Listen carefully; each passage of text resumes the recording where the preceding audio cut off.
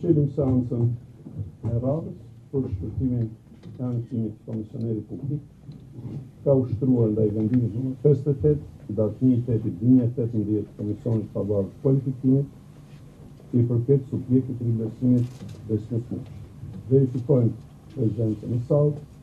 Kemi prezencën e dy komisionerëve publik, kemi prezencën e subjektit të rivlerësimit, kemi prezencën e vëzhguesit ndërkombëtar të gjenandë dhe bërë të të mundjo, kemi dhe të njëtën sekretare i të e të arabi, të njëtën përbërje të trupit gjykues.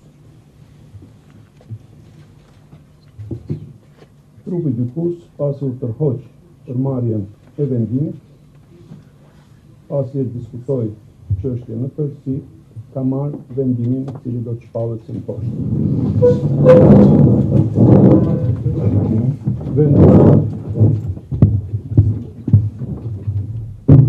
Vendim në emër të Republikës, trupi gjykues i kolegjit posaçëm të apelimit i përbërë nga Sokol Çomo kryesues, Ardian Hajdari relator,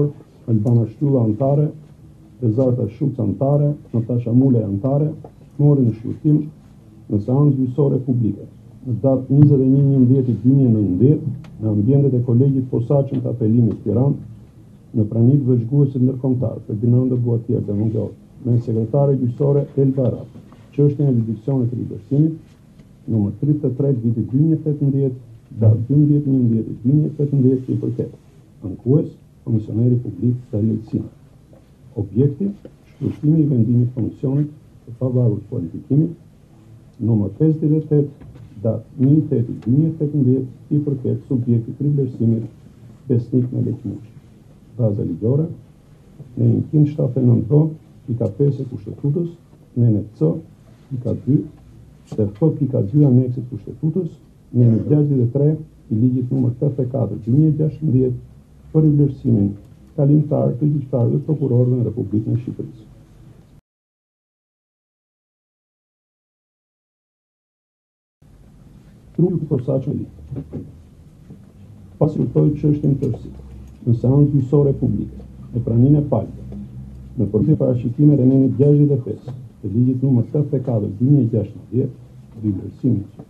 kalimtar të gjyqtarëve dhe prokurorëve në Republikën e Shqipërisë, në vijim ligji numër tetëdhjetë e katër, dy mijë e gjashtëmbëdhjetë,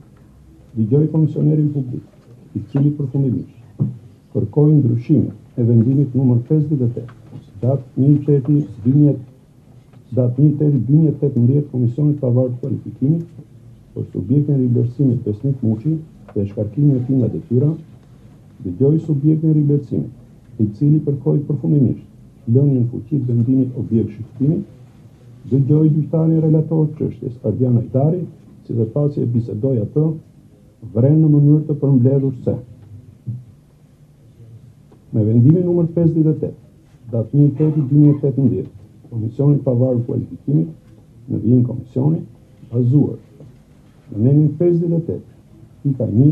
gërma A dhe nenin pesëdhjetë e nëntë, pika një, e Ligjit numër tetëdhjetë e katër dy mijë e gjashtëmbëdhjetë, ka vendosur konfirmimin në detyrë të subjektit të rivlerësimit Besnik Muçi, në vijim subjekt. Kundër vendimit të Komisionit, lidhur me këtë subjekt, pasi është njohur me vendimin objekt shqyrtimi. Në datë shtatëmbëdhjetë i dhjetë i dy mijë e tetëmbëdhjetë ushtroi ankim Komisioneri Publik Dariel Sina në datë tridhjetë e një i dhjetë i dy mijë e tetëmbëdhjetë. Me anë të këtij ankimi, Komisioneri Publik kërkoi ndryshimin e vendimit numër pesëdhjetë e tetë datë një i tetë i dy mijë e tetëmbëdhjetë të Komisionit dhe shkarkimin nga detyra e subjektit Besnik Muçi. Referuar ankimit. Komisioneri Publik nuk krijon bindjen se subjekti arrin një nivel të besueshëm në vlerësimin e kriterit të pasurisë sipas nenit pesëdhjetë e nëntë pika një e Ligjit numër tetëdhjetë e katër dy mijë e gjashtëmbëdhjetë. Në përfundim të shqyrtimit gjyqësor të çështjes, pasi dëgjoi dhe konkluzionet përfundimtare të Komisionerit Publik dhe të subjektit, Vlerësoi të gjitha shkaqet e ankimit për kriterin e kontrollit të pasurisë,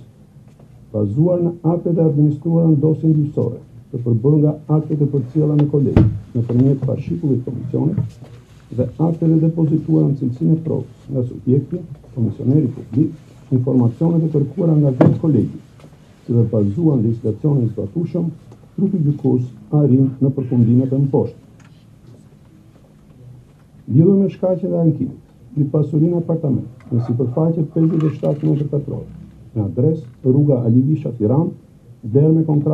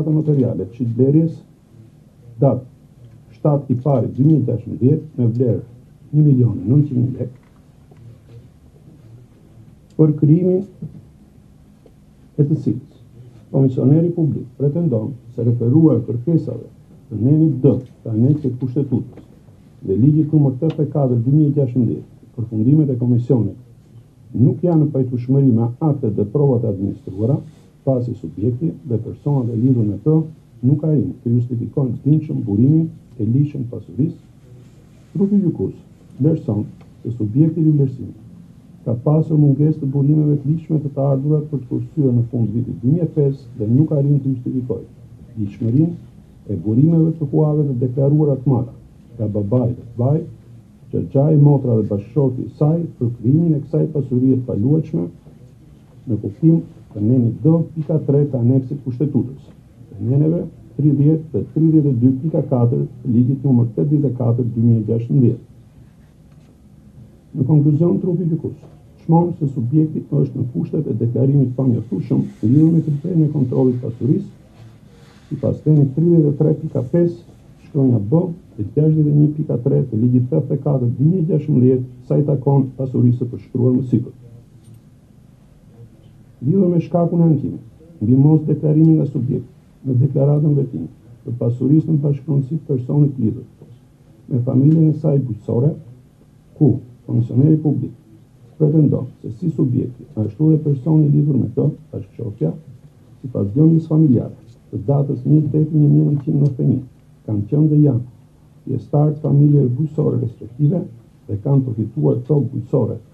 Sipas Ligjit shtatë mijë e pesëqind e një të vitit një mijë e nëntëqind e nëntëdhjetë e një për tokën, regjistruar në Zyrën Vendore të Regjistrimit të Pasurive të Paluajtshme të rrethit Pogradec me statusin familje bujqësore dhe kanë pasur detyrim ta deklarojnë këtë pasuri trupi gjykues. vlerëson se subjekti dhe personi i lidhur me të nuk kanë deklaruar saktësisht dhe plotësisht pasurinë në kundërshtim me kërkesat e nenit tridhjetë e tre pika pesë shkronja A të Ligjit tetëdhjetë e katër dy mijë e gjashtëmbëdhjetë. Për pasojë, në kuptim të nenit D, pika një e aneksit të Kushtetutës, dhe nenit gjashtëdhjetë e një,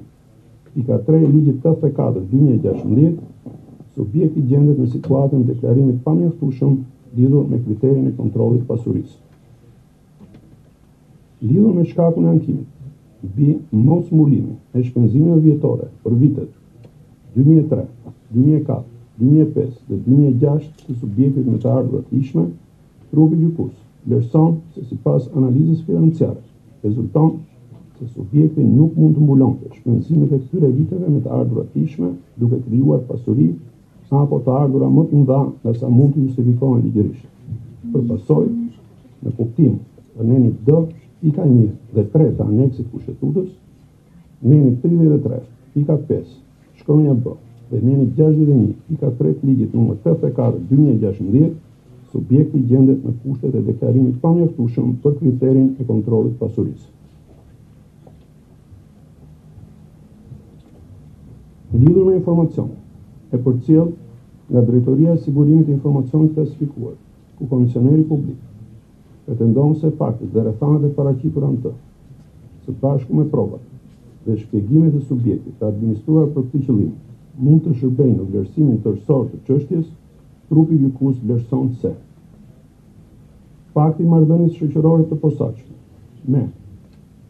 individin AL, për të cilin subjekti dinte se ishte përfshirë në konflikte fizike me individë të tjerë, ku është përdorur dhe armë zjarri, fakt që nga burimet e hapura të informacionit, rezulton të jetë bërë i njohur edhe për publikun e gjerë nga mediat dhe që ky person ishte proceduar dhe dënuar nga Gjykata e Rrethit Gjyqësor Tiranë me vendimin numër gjashtëqind e katër, datë njëzet e shtatë i tretit dy mijë e katërmbëdhjetë, për kryerjen e veprës penale të moskallëzimit të krimit, vendim i cili është prishur.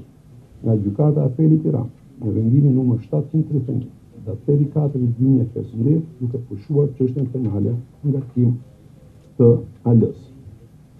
Privilegjet e përfituara prej subjektit në blerjen e apartamentit me sipërfaqe shtatëdhjetë e tetë pikë katër metër katror, me vendndodhje në Tiranë, Rruga e Elbasanit nga ky individ,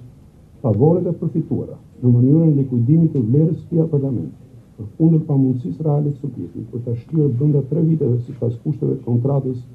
së shitblerjes me burime nga pagat, shlyerja e vlerës së mbetur të çmimit të këtij apartamenti gjatë shqyrtimit gjyqësor në kolegj,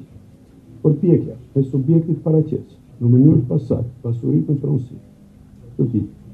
dhe deklarimet e pavërteta të subjektit në kuadër të bashkëpunimit me kolegjin,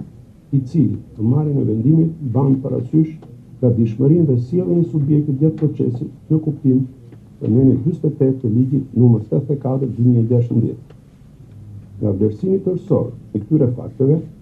konsiderohet se subjekti ka cënuar besimin e publikut tek sistemi i drejtësisë në zbatim të nenit D, pika pesë e aneksit të Kushtetutës,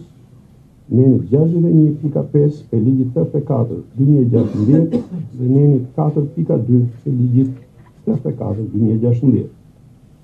Përfundimet e mësipërme u vlerësuan nga trupi gjykues të mjaftueshme për të konkluduar mbi kriterin e kontrollit pasurisë subjekt. Nisur nga sa mësipër, konsiderohet se faktet e çështjes janë të mjaftueshme për të arritur në përfundimin se subjekti Besnik Muçi nuk mund të gëzojë besimin e publikut për të qëndruar në detyrë dhe ndodhet në kushtet e pamundësisë për plotësimin e mangësive nëpërmjet programit trajnim. Në konkluzion, sa më sipër, trupi gjykus, bazuar në përfundimet e mësipërme, vlerësoi se subjekti i rivlerësimit ka kryer deklarim të pasaktë dhe të pamjaftueshëm të pasurisë së tij dhe të personave të lidhur me të, në kuptim të nenit D, pika një dhe tre të aneksit të Kushtetutës, dhe nenit tridhjetë e tre, pika pesë, shkronjat A, B, dhe nenit gjashtëdhjetë e një, pika tre e Ligjit numër tetëdhjetë e katër dy mijë e gjashtëmbëdhjetë, dhe në kuptim të nenit D, pika pesë e aneksit të Kushtetutës, dhe nenit gjashtëdhjetë e një, pika pesë e Ligjit tetëdhjetë e katër, dy mijë e gjashtëmbëdhjetë, vlerëson se subjekti ka cënuar besimin e publikut te sistemi i drejtësisë dhe për pasojë, vendimi numër pesëdhjetë e tetë, datë një i tetit dy mijë e tetëmbëdhjetë, i Komisionit duhet ndryshuar pasi nuk gjendet i drejtë dhe i bazuar në fakte, prova dhe ligj. Për këto arsye, trupi gjykues, bazuar në nenin gjashtëdhjetë e gjashtë, pika një, shkronja B, e Ligjit tetëdhjetë e katër dy mijë e gjashtëmbëdhjetë për rivlerësimin kalimtar të gjyqtarëve dhe prokurorëve në Republikën e Shqipërisë vendosi ndryshimin e vendimit numër pesëdhjetë e tetë, datë një i tetit dy mijë e tetëmbëdhjetë, të Komisionit të Pavarur të Kualifikimit dhe shkarkimin nga detyra të subjektit të rivlerësimit Besnik Muçi. Prokuror në momentin e fillimit të procesit të rivlerësimit, gjyqtar i Gjykatës Kushtetuese në momentin e shpalljes këtij vendimi. Ky vendim është përfundimtar dhe ka efekt të menjëhershëm. U shpall sot, në datë njëzet e një i njëmbëdhjetit dy mijë e nëntëmbëdhjetë, në Tiranë. Me. Shpalljen e këtij vendimi, gjykimi i kësaj çështje konsiderohet i përfunduar. Faleminderit.